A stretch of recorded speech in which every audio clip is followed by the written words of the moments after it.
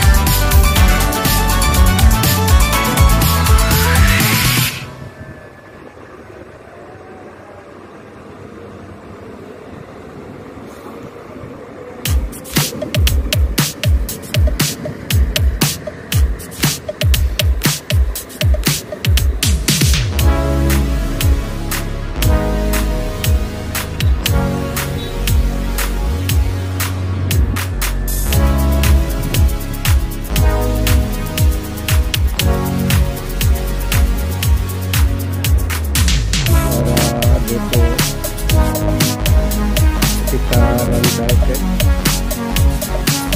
karena daerah ini antara Cilenyi dan Rantai